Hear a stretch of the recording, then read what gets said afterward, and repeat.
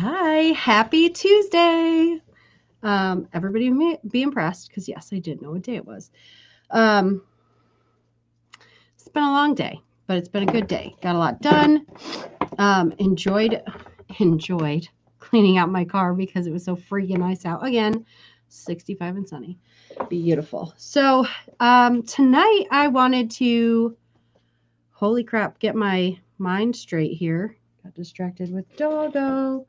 Come here. You want to say hi? Come on. Come on. You gotta go a little higher now. Go a little, little higher. Say hello. There he is. This is Artie. Artie is my, oh, my project, my first project. He ended up um, getting a lot of allergies and having a lot of issues. So we've been working on those. Anyway, what we are talking about tonight is how to improve your life without changing your circumstances. Because i think that we all get so stuck up in oh well you know if this were different in my life everything would be better. If you know if i had more money everything would be better. If i could find a freaking house everything would be better. Um, if i had a different job everything would be better. If i lived somewhere else everything would be better. Um, it's that classic the grass is always greener on the other side. Bullpucky. It's bullpucky. That's what it is. Because that's not true. That's just not true. And I think we all know that. We've all experienced it. We've all been like, okay, cool. If I just had this, everything would be better. And then we get it and we're like, hmm, yep, not so much. Not really. I thought it was going to be better. uh, so, how do we change our lives without changing that circumstance? Because the circumstance really has nothing to do with it. Um, and what I have found is that you guys, and I promise this isn't some like bullpucky. It's my word of the evening, apparently. This isn't some speak positive garbage, okay? The study that I have done has been over conscious language. We've talked about it before. If you aren't familiar, scroll back. You'll you'll see a video or two about that.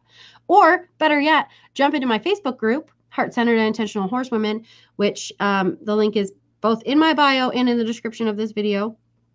Um, if you are watching anywhere other than Instagram, it's in the description, but it's always in my bio. And um, we talk about this kind of stuff a lot. Also, um, yeah, so check that out if you don't know what I'm talking about. But if you do know what I'm talking about, conscious language wise, um, you'll understand that I've also done some study. This like conscious language is scientifically backed. It is uh, run lines right up with neuroplasticity and brain science. Uh, so it's pretty awesome stuff.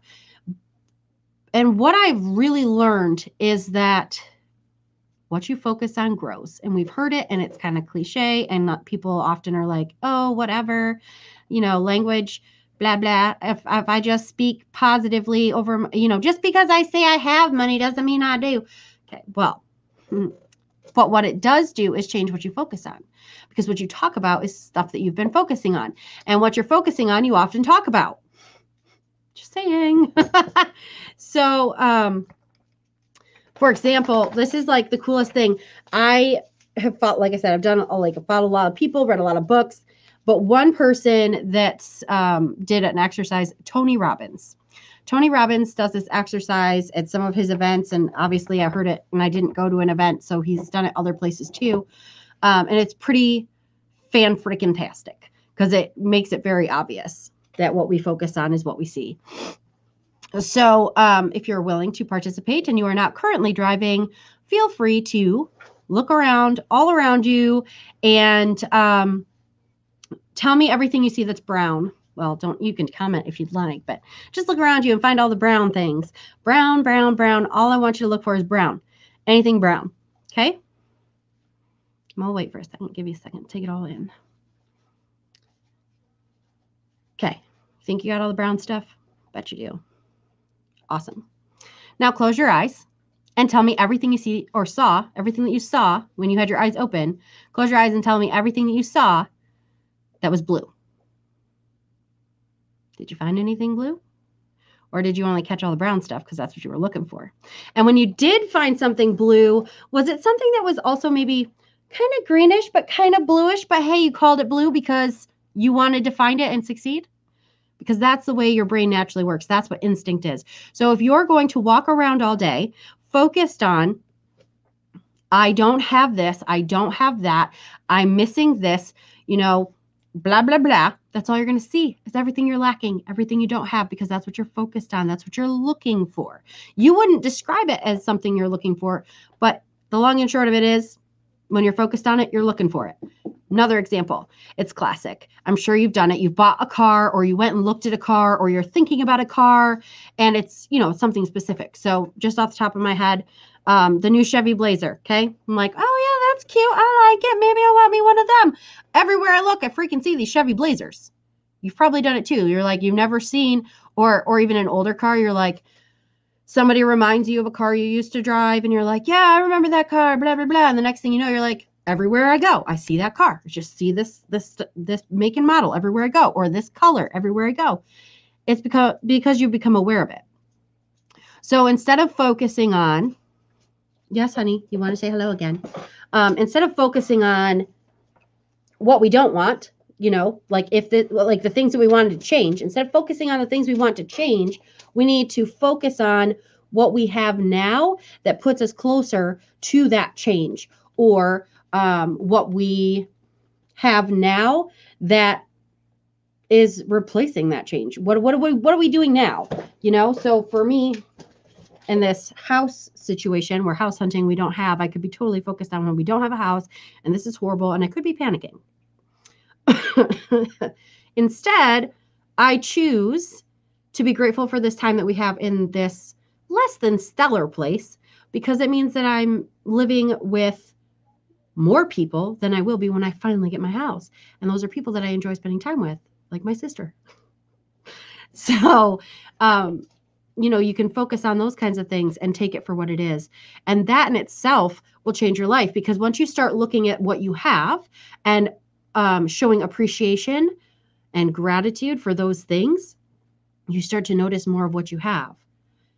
And you, not only do you notice it, but then you get more because you become more aware of the opportunities around you. So, in essence, this simple practice of being grateful for what you have and observing the things that you do have instead of observing all of the things you're lacking, that simple practice will start a spiral which gets you all of the things that you're looking for. That's how you change your life. And that's how you change your circumstances. But, you know, whatever. that's that's the story. So, anyways, that's all I have for you tonight. I just want to impart that on you, give you a little bit of wisdom because I've noticed it make a difference in my life, and uh, I am all about sharing the the wealth of knowledge. So, anyways, that's all for tonight. I will probably see you tomorrow. And just in case, I just totally forgot. Um, just in case you are down for it, and you're looking for more of this kind of mindset training and ways to improve your life, um, ways to be more appreciative of yourself and um, what you have, you could totally jump in to our 90 day transformation of becoming about your body's best friend. Um, which is a lot more than what it sounds like. So, if you would like more information on that, you can check the link that's either again in my bio or in the description of this video. We'd be more than happy to take you along for the journey. We are having a blast doing it. And uh, that's that's really all I have for you tonight. So I will talk to you all tomorrow.